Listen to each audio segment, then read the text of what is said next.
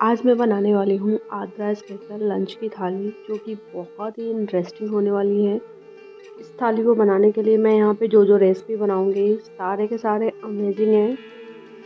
तो आप लोग पूरा वीडियो वॉच करें एंड पसंद आए तो लाइक शेयर ज़रूर कर दें। तो चलिए जल्दी से बनाना शुरू करते हैं। सबसे पहले यहाँ पे मैं सब्ज़ी बना लेती हूँ। तो आज मैं बनाने वाली हूँ आलू परवल की सब्ज़ी। तो परवल को हमने इस तरह से कट कर लिया है और इसे हम फ्राई कर लेंगे। वैसे तो मेरे घर में परवल किसी को पसंद नहीं है। मुझे बहुत ज़्यादा पसंद है तो मैं अपने लिए बना रही हूँ। तो परवल को हमें इस तरह से फ्राई कर लेना है। आप चाहे तो राउंड कट करके भी डाल सकते हैं। आपको जैसा शेप मन हो आप डाल सकते हैं। इस तरह से परवल को फ्राई कर लें। जब ये अच्छी तरह से फ्राई हो जाए तो हम इसे एक प्लेट में निकाल लेंगे।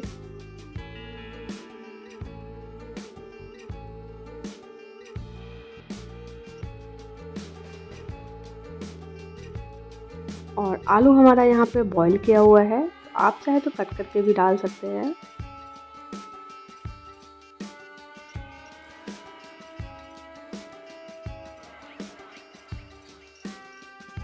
लेकिन बॉईल कर लेने से क्या होता है ना, सब्ज़ी जल्दी बन जाती है, ज़्यादा टाइम नहीं लगता है।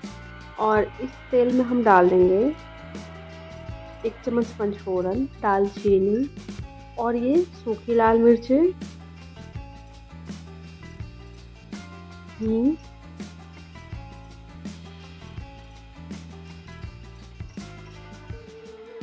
आप चाहे तो ग्रीन चिली भी डाल सकते हैं। और इसे हम अच्छे से मिक्स करेंगे।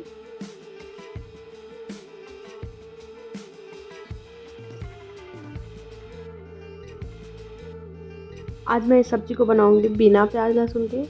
ये काफ़ी ज़्यादा टेस्टी बनता है, बिना प्याज डाले हुए भी। तो हम इसमें डाल देंगे टमाटर को कट करके। और ये है कोरिएंडर पाउडर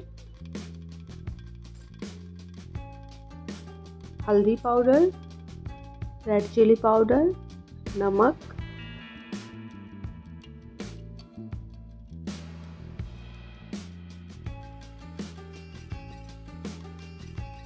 कस्तूरी मेथी।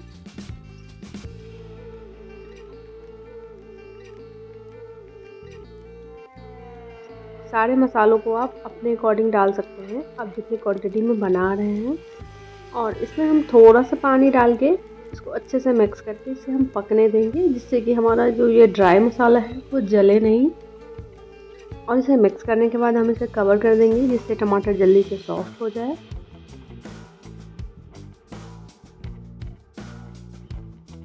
सब्ज़ी का ग्रेवी रेडी हो जाए।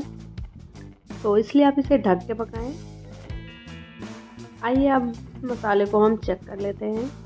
तो टमाटर को हमें हल्का से प्रेस करते हुए मिक्स कर देना है। अब इसमें डाल दें, ये ब्लैक पेपर पाउडर है। और इस मसाले को हम मिक्स करेंगे।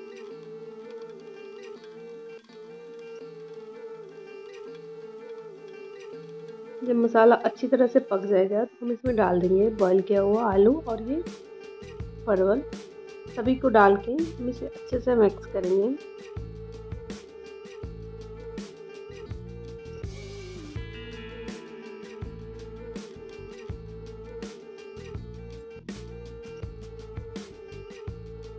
मसाला के साथ आप इसे एक से दो मिनट के लिए मिक्स करें।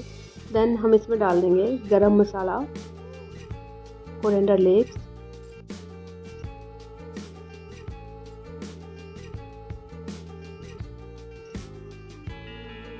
और इसे मिक्स करेंगे।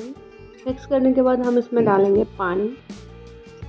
पानी आपको जितनी ग्रेवी चाहिए, आप उसके अकॉर्डिंग डाल सकते हैं। आप चाहे तो इस सब्ज़ी को ऐसे भी खा सकते हैं।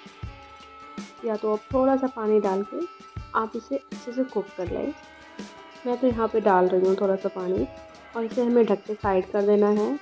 और आइए तब तक हम दाल पूड़ी के लिए दाल रेडी कर लेते हैं। तो कढ़ाई में हम डालेंगे सरसों का तेल। और इसमें डाल दें जीरा। ये है ग्रीन चिली और करी पत्ता। करी पत्ता ऑप्शनल है, आप चाहे तो नहीं भी डाल सकते हैं। और ये है हींग। और इसे हम मिक्स करेंगे। मिक्स करने के बाद हम डाल देंगे फुली हुई दाल। दाल को हमने आधा घंटा के लिए पानी में भिगो के रख दिया था, जिससे अच्छी तरह से फूल गई है।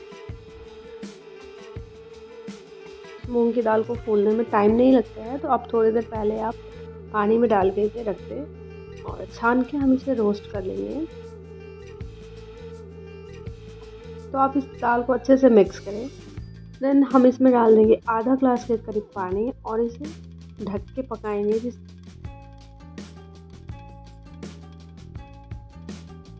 करके पकाएँ, जिससे कि दाल पूरी जो है सॉफ्ट बनेगी।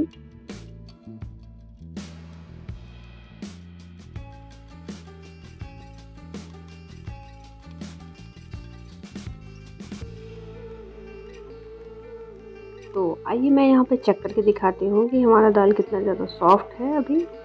तो आप इसे ठंडा करके पीस लें।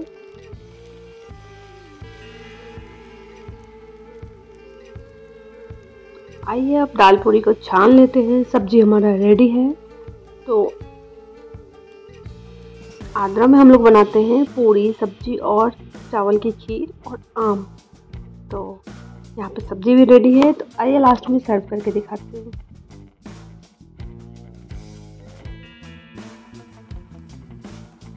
ये सब्ज़ी बहुत ही टेस्टी बना है। तो आप इसे ऐसे भी नॉर्मल पूरी के साथ खा सकते हैं। आपको बहुत टेस्टी लगेगा खाने में। आप इस इस तरह से आप एक बार सब्ज़ी ज़रूर बना के देखें ये बहुत ही सिंपल एंड इजी है और खाने में तो बहुत ही अमेजिंग है। तो ये हमारा आद्रा स्पेशल थाली रेडी है। तो आप भी अपने घर में बनाइए। बहुत मज़ा आएगा। सभी को बहुत ज़्यादा पसंद आएगा। अगर आपको वीडियो पसंद आए तो लाइक, शेयर ज़रूर कर दें एंड प्लीज़ चैनल को सब्सक्राइब करना ना भूलें। मिलते हैं नेक्स्ट वीडियो में। Bye bye